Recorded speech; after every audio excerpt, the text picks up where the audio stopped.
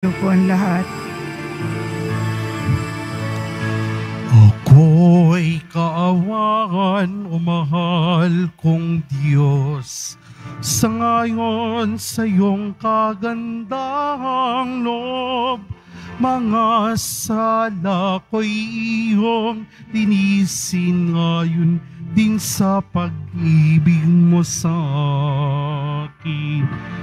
Bubuksan aking puso at isipan, Pagsalansang ko'y aking kinikilala, patawarin niya ring kasalanan.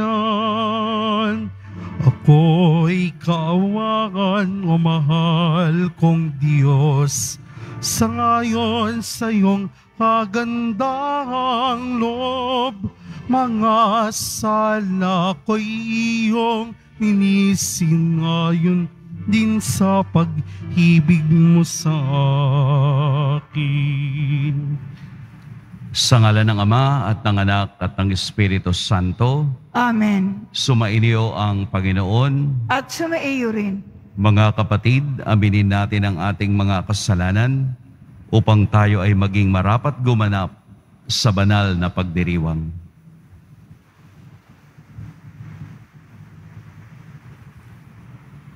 Inaamin ko sa makapangyarihang Diyos. At sa inyo, makapatid, Hello, na lubha ako nagkasala sa isip, sa salita at sa gawa, at sa aking pagkukulang.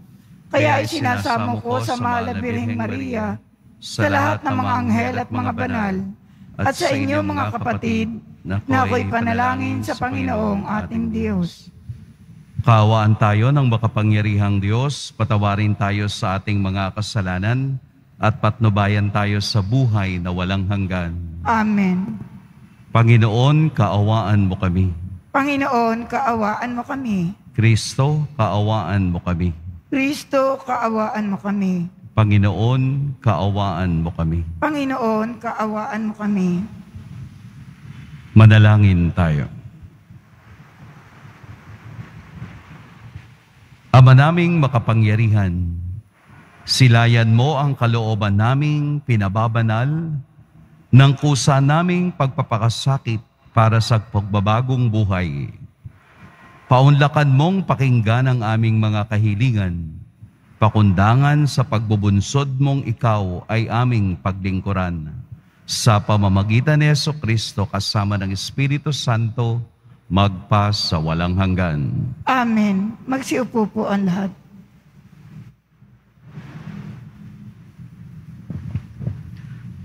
Pagbasa mula sa aklat ni Propeta Daniel.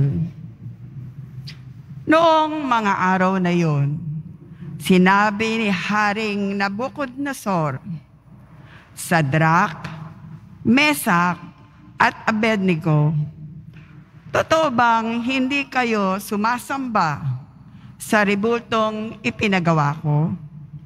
Tanong ng hari. Inuutos ko sa inyo, sumamba kayo sa ipinagawa kong rebulto. Sa sandaling marinig ninyo ang tunog ng mga instrumento. Kung hindi, ipahagis ko kayo sa naglalagablab na pugon. Tignan ko lang kung may Diyos na makapagliligtas sa inyo. Sinabi naman ni Sadrak, Mesak, at Abednego, Ahal na hari, wala po kaming itututol sa inyo tungkol sa bagay na ito. Gawin ninyo yan ang gusto ninyo. Ang Diyos na aming pinaglilingkuran ang magliligtas sa amin sa bugong iyon at sa inyong kapangyarihan. At kung hindi man niya gawin ito, hindi pa rin kami sasamba sa rebultong ipinagawa ninyo. Namula si Haring Nabucodonosor sa tindi ng galit kina Sadrak, Mesak, at Abednego. Kaya inyutos niyang painiting makaipatong ibayo ang pugon. Inutos din niya sa pinakamalalakas niyang tauhan, nagapusin sina Sedrak, Mesak, at Abednego at ihagis sa apoy. Walang ano-ano'y napalundag si Haring Nabucodonosor. Pamanhang tinanong niya sa kanyang mga tagapayo, Hindi ba tatlo lamang ang hinihagis sa apoy? Opo, kamahalan, sagot nila. Bakit apat ang nakita kong lalakad-lakad sa apoy at hindi nasusunog? At yaong isa ang tingin ko'y Diyos. Dahil dito, sinabi ng hari, purihin ang Diyos ni Nasadrak, Mesak, at Abednego. Nagsugo siya ng anghel upang iligtas ang mga lingkod niyang ito, naganap na nananalig sa kanya. Hindi sinunod ng mga ito ang aking utos. Ginusto pa nilang sila ihagis sa apoy kaysa sumamba sa Diyos Diyosan. Ang salita ng Diyos. Salamat sa Diyos. Purihin at ipagdangal ang Diyos magpakailanman. Purihin at ipagdangal ang Diyos magpakailanman. Pinupuri ka namin, Panginoon, Diyos ng aming mga ninuno. Karapat dapat kang ipagdangal at dakilain magpakailanman. Purihin ang iyong banal at maluhating pangalan. Nararapat purihin at ipagdangal magpakailanman. Purihin at ipagdangal ang Diyos magpakailanman. Purihin ka sa iyong banal at marangal na tahanan. Lubhang karapat dapat kang awitan at dakilain magpakailanman. Purihin at ipagdangal ang Diyos magpakailanman. Purihin ka na nakaluklok sa maringal mong trono.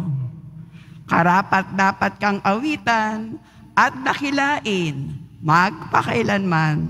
Purihin at ipagdangal ang Diyos magpakailanman.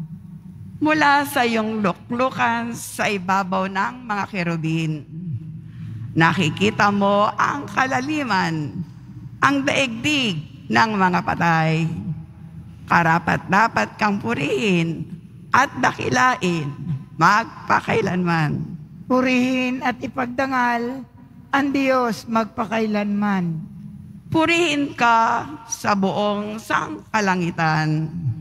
Karapat-dapat kang awitan at dakilain magpakailanman.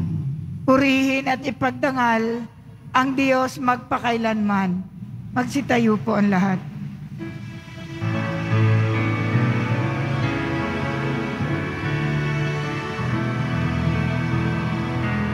Nagpupuri kami sa'yo, Panginoong Yesu Kristo.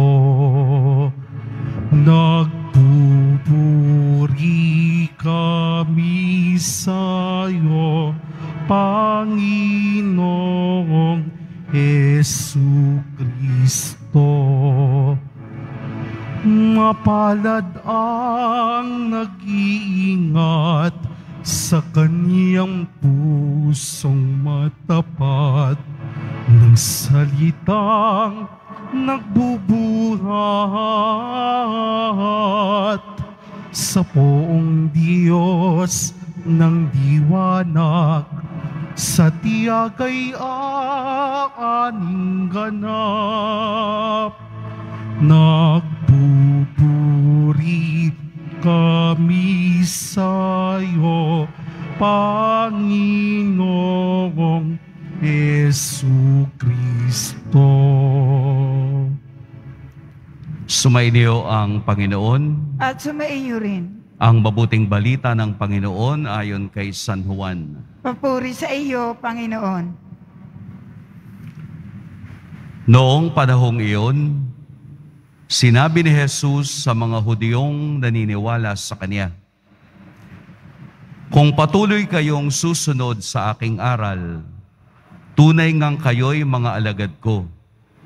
Makikilala ninyo ang katotohanan at ang katotohanan ang magpapalaya sa inyo.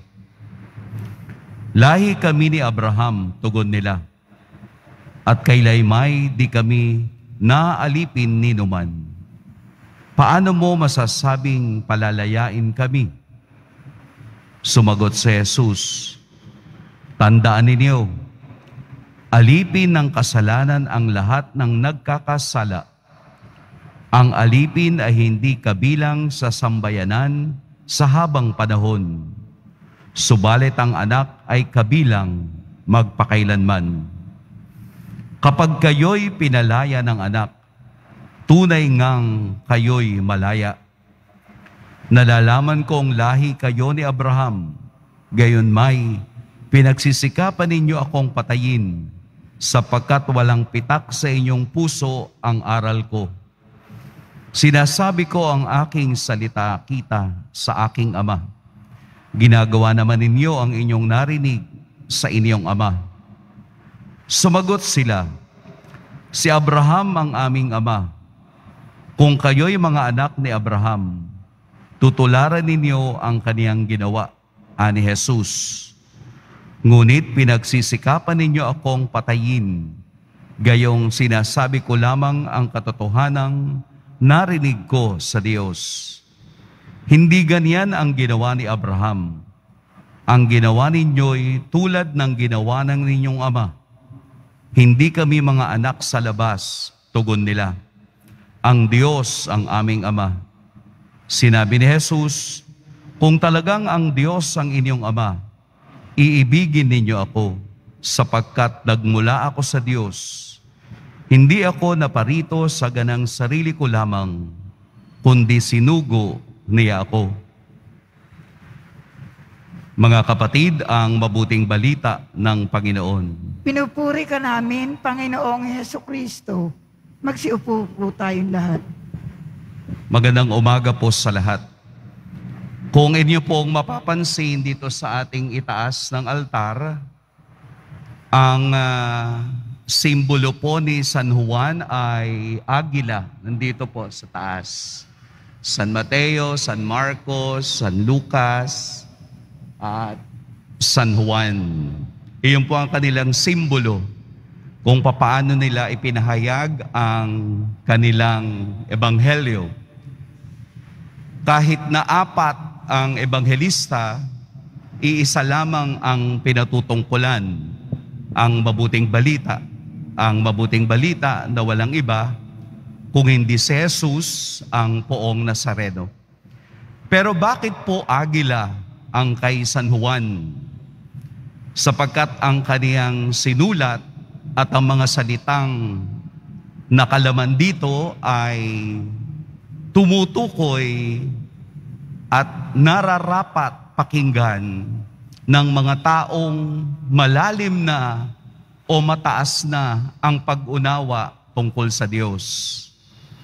Kaya nga agila, mataas ang lipad, pero matalas ang mata. Ang ebanghelyo ni San Juan na ating narinig ngayon ay pagsasalarawan kung papaanong ang relasyon ng ama at anak kailanman ay hindi napaghihiwalay. Kung papaanong yumayaman ang relasyong ito ay siya ring ibinibigay ni Jesus sa kaniyang mga tagapakinig. Kaya maunawaan lamang natin ang salita ni Jesus ayon sa Ebanghelyo ni San Juan kung tayo rin ay malalim na sa pag-unawa sa Diyos.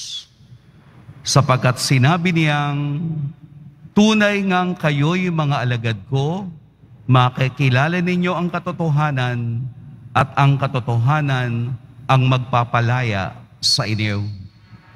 Makikita lamang natin ang katotohanan ng Diyos kung tayo ay mayroong malalim na ugnayan sa Kanya at malalim na pagkaunawa sa Kaniyang mga ginagawa at sa Kaniyang mga sinasabi.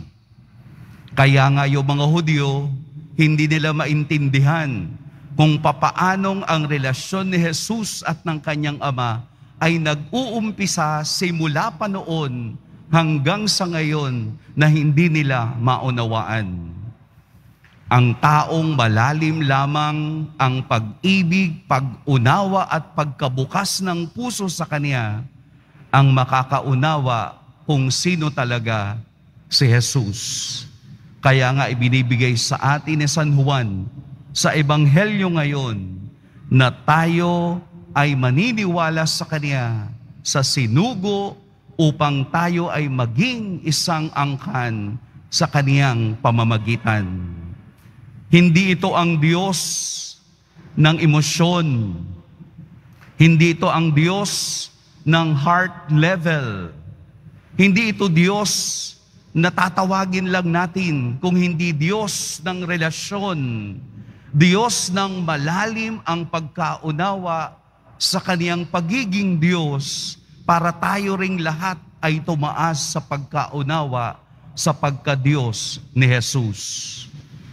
Yun bang dapat tapos na tayo dun sa level ng pagtrato natin sa Kanya na Diyos lamang na nagbibigay ng ginhawa. Dapat tapos na tayo sa level na ang Diyos na ating pinupuntahan ay ang palaging magbibigay sa atin ng solusyon sa lahat ng problema. Dapat tapos na tayo diyon. Dapat ang pagkaunawa na natin sa Diyos, ang Diyos na ito ay kasama ko sa aking pakikibaka sa buhay.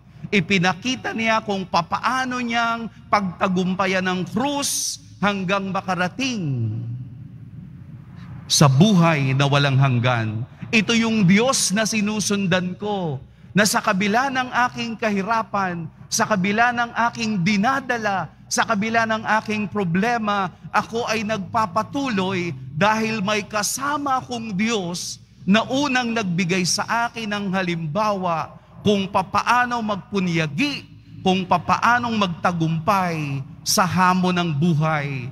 Yun na yung level ng pag-unawa natin sa pagka-Diyos. Hindi yung Diyos na palagi nating hinihingan. Hindi yung Diyos na palagi nating binabagsakan ng problemang tayo naman ang gumawa. Ibahin na natin yung level. Itaas na natin yung level ng pag-unawa natin sa Diyos. Oo, totoo na ang Diyos ang nagbibigay lahat ng biyaya. Pero kailangan ng biyayang iyan ay aagos sa ating pagpupunyagi at pakikipaglaban sa hamon ng buhay. Masarap damhin ang tagumpay kung alam mong ito ay iyong pinaglalaban. Itaas natin ang level ng pag-unawa sa pagka-Diyos ni Kristo upang makita natin na sa kabila ng krus ay naroroon pala ang tunay na tagumpay. Pagpalain tayo ng poong may kapal. Magsitayo po ang lahat.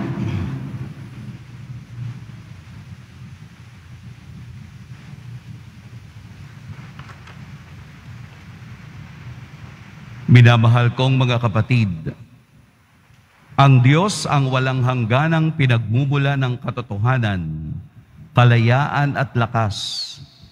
Hilingin natin sa Diyos na loobin niyang matamo natin at ng lahat ng tao ang kaganapang ninanais niya para sa atin. Ama, gawin mo kaming ganap. Ama, gawin mo kaming ganap. Ang lahat na naghahanap sa katotohanan. Naway maging bukas at malaya ang isip sa mensahe ni Jesus at ng kanyang simbahan. Manalangin tayo. Ama, gawin mo kaming ganap. ang ating mga taimtim na gawain ngayong kwaresma. Naway makatulong upang palayain tayo sa pagkaalipin ng labis na pagpapahalaga sa sarili. Manalangin tayo. Ama, gawin mo kaming ganap.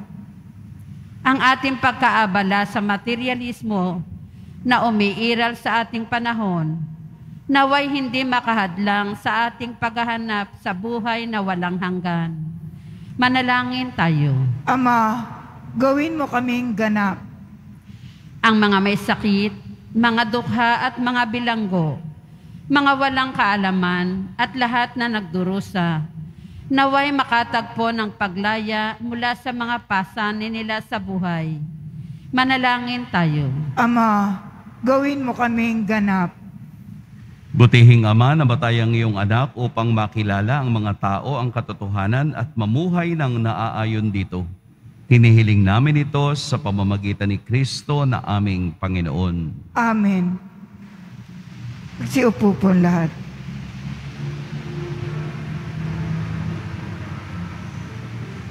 Lord, sa utos mo, nalulugod akong labis, di masukat ang galak ko,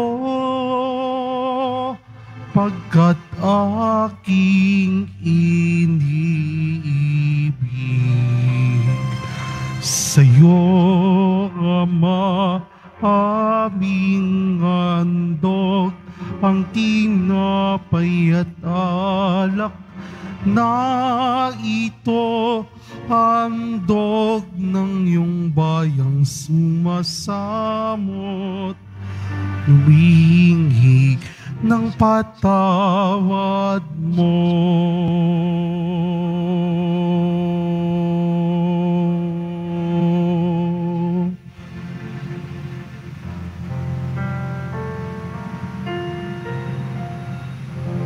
Magsitayo po ang lahat. Manalangin kayo mga kapatid upang ang paghahain natin ay kalugdan ng Diyos amang makapangyarihan. Tanggapin nawa ng Panginoon itong paghahain sa iyong mga kamay, sa kapurihan niya at karangalan, sa ating kapakinabangan at sa buong sambayanan niyang banal. Ama naming lumikha, maitalaga nawa namin sa iyo ang gagawing paghahain na iyong ibinigay upang aming maialay din sa layuning aming sambahin ang ngalan mo upang ang kagalingan namin ay makamtan mula sa iyo. Sa pamamagitan ni Yeso Kristo kasama ng Espiritu Santo, magpa sa walang hanggan. Amen. Sumainyo ang Panginoon. At sumaiyo rin. Itaas sa Diyos ang inyong puso at diwa. Itinaas na namin sa Panginoon. Pasalamatan natin ang Panginoong ating Diyos. Marapat na siya ay pasalamatan. Ama naming makapangyarihan, tunay ngang marapat na ikaw ay aming pasalamatan sa pamamagitan ni Yeso Kristo na aming Panginoon. Sa pagpapakasakit ng giliw mong anak, ang sangkatauhay minarapat mong magpahayag ng iyong dakilang pag-ibig sa lahat, na pawang nais mong tubusin ng Mesiyas.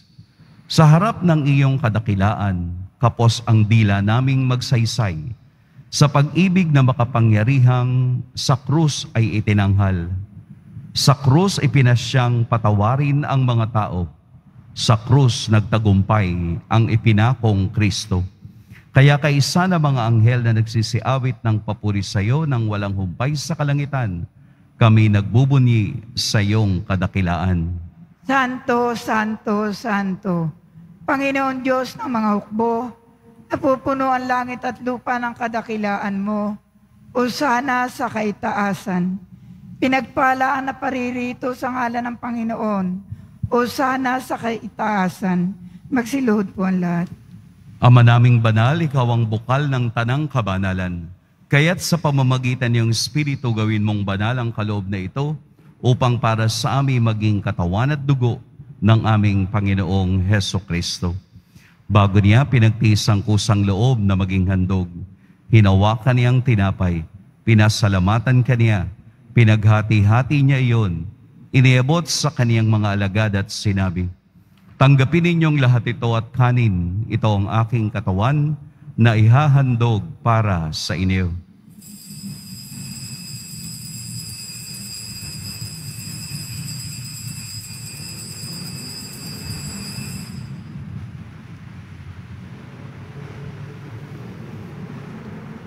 Gayun din naman, noong matapos ang hapunan, hinawakan niya ang kalis, muli kaniyang pinasalamatan. Inebot niya ang kalis sa kanyang mga alagad at sinabi, Tanggapin ninyong lahat ito at inumin ito ang kalis ng aking dugo, ng bago at walang hanggang tipan, ang aking dugo na ibubuhos para sa inyo at para sa lahat, sa kapagpapatawad ng mga kasalanan. Gawin ninyo ito sa pag-alala sa akin.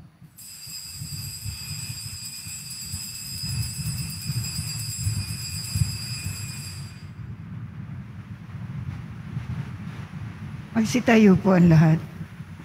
Ipagbuni natin ang misteryo ng pananampalataya. Si Kristo'y namatay, si Kristo'y nabuhay, si Kristo'y babalik sa wakas ng panahon. Ama, ginagawa namin ngayon ang pag-alala sa pagkamatay at muling pagkabuhay ng iyong anak. Kaya't iniaalay namin sa iyong tinapay na nagbibigay buhay at ang kalis na nagkakaloob ng kaligtasan. Kami nagpapasalamat dahil kami iyong minarapat na tumayo sa harap mo para maglingkod sa iyo. Isinasamo namin kaming magsasalo-salo sa katawan at dugo ni Kristo ay mabuklod sa pagkakaisa sa pamamagitan ng Espiritu Santo. Ama, lingapin mo yung simbahang laganap sa buong daigdig. Puspusin mo kami sa pag-ibig kaysa ni Francisco naming Papa at ni Jose naming Obispo at ng Tanang Kaparian Alalahanin mo rin ang mga kapatid naming nahimlay na may pag-asang sila'y muling mabubuhay, gayon din ang lahat ng mga pumanaw.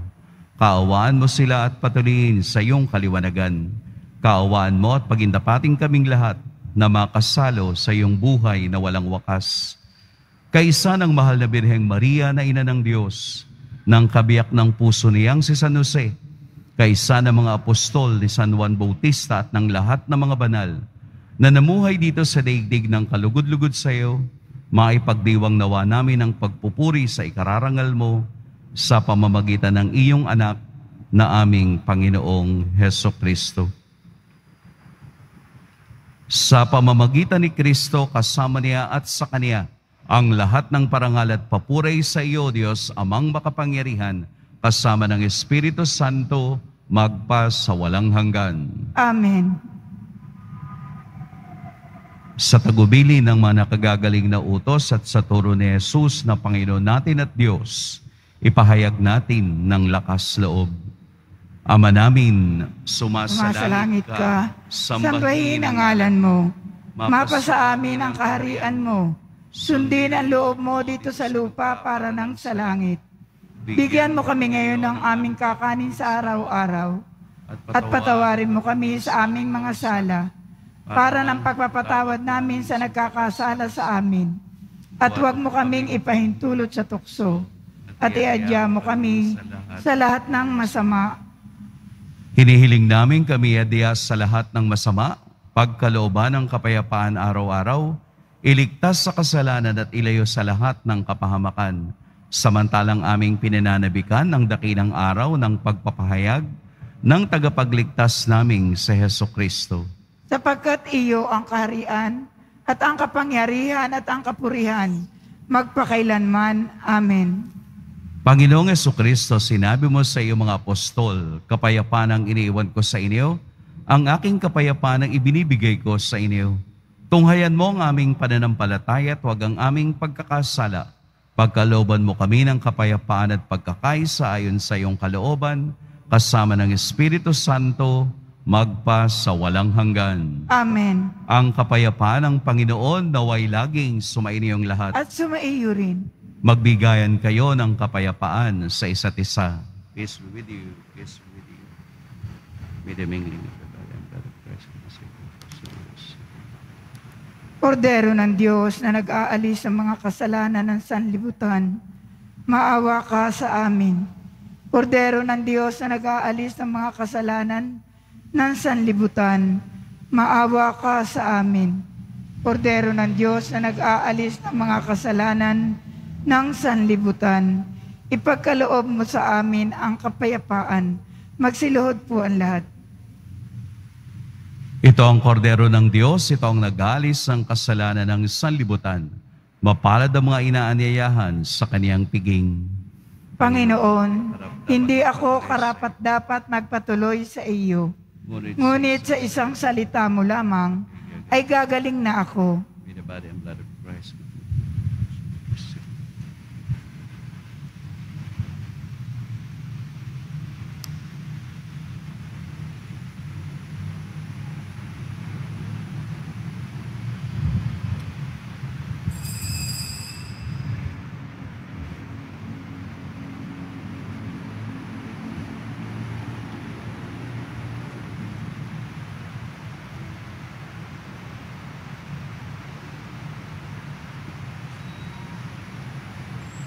Para sa lahat ng tatanggap ng banal na komunyon.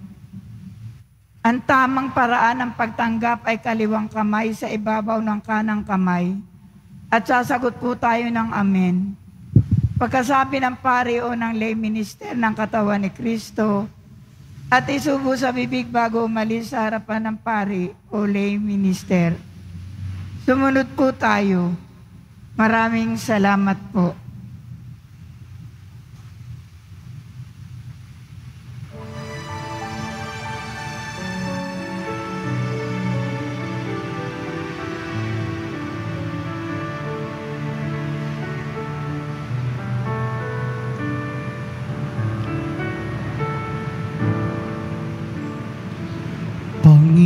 Panginoon,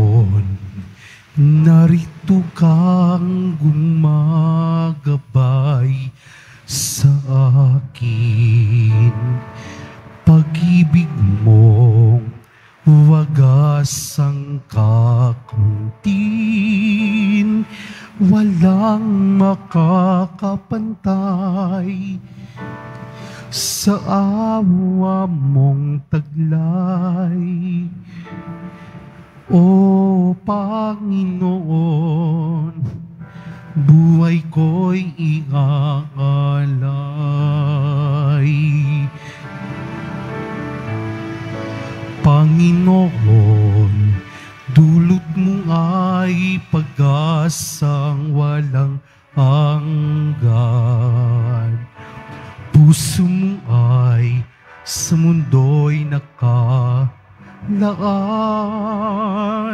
Kapangyarihan mo'y tunay, aking isasalaysay. O Panginoon, dakila kang tunay. Sa kabila ng lahat, yayakapin mo pa rin ako. Sa kabila ng lahat, kaakayin mo pa rin ako. Sa kabila ng lahat, buhay mo'y inalay mo sa kabila ng lahat, tinatawad mo ako. Panginoon, tulad mo ay pag-asang walang hanggan. Puso mo ay sa mundo'y nakalaan. Kapangyarihan mo'y tunay, aking sasalaysay. O Panginoon, dakila kang tunay. Sa kabila ng lahat, yayakapin mo pa rin ako. Sa kabila ng lahat, aakayin mo pa rin ako. Sa kabila ng lahat, buhay mo'y inalay mo sa kabila ng lahat, pinatawad mo ako. Pinaalalahanan ang lahat na huwag maging kampante sa banta ng COVID-19.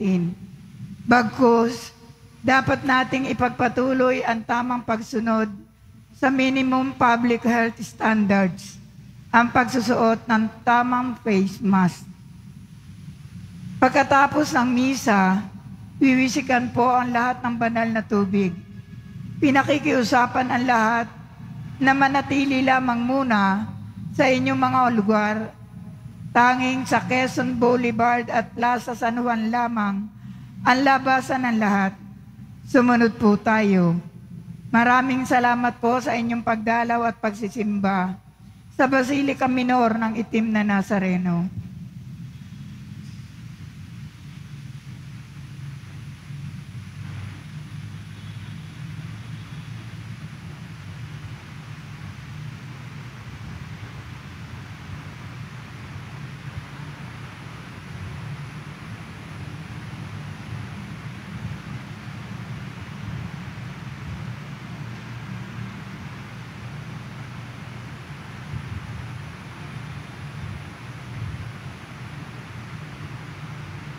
Magsitayo po ang lahat.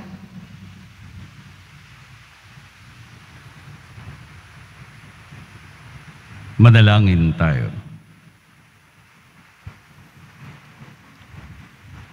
Ama naming mapagmahal, sa pakikinabang namin kami iyong binibigyan ng kagalingan dulot ng aming pinagsaluhan. Ito naway umampat sa masasama naming hilig upang lalong tumibay ang kalooban mo sa aming pagkatig sa pamamagitan ni Yeso Kristo kasama ng Espiritu Santo magpa sa walang hanggan. Amen. Sumainyo ang Panginoon. At sumaiyo rin. Yumuko kayo para sa pagbabasbas. Mahal na poong Jesus Nazareno, inihayag mo sa pamamagitan ng krus ang walang maliw na pag-ibig ng Diyos sa sangkatauhan. Pakinggan mo ang kahilingan niyong angkan na nagsusumamo sa iyo. Makamtan nawa nilang iyong katugunan at tanggapin ang kasagutan na may utang na loob na tinatanaw.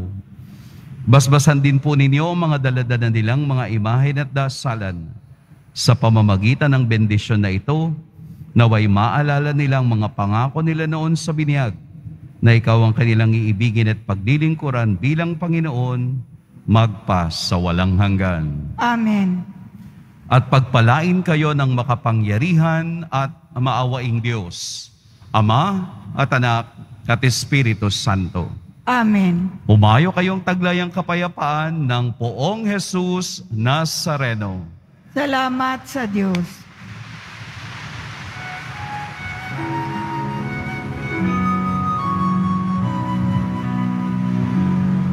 Nuestro Padre Jesus Nazareno, sinasamba ka namin. Pinipintungo ka namin. Aral mo ang aming buhay at kaligtasan. Nuestro Padre Jesus Nazareno, iligtas mo kami sa kasalanan. Ang krus mong kinamatayan ay sagisag ng aming kaligtasan. Nuestro Padre Jesus Nazareno, dinarangal ka namin. Nuestro Padre Jesus Nazareno, nilulwalhati ka namin. Nuestro Padre Jesus Nazareno, dinarangal kang namin. Nuestro Padre Jesus Nazareno, nilulwalhati ka namin.